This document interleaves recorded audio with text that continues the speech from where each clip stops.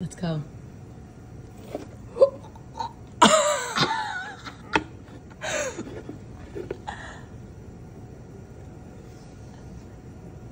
Oh. Would you eat it? There's cottage cheese, olives, celery, lime jello, mayo. What else am I missing? Pineapple. Pineapple, canned pineapple. Oof.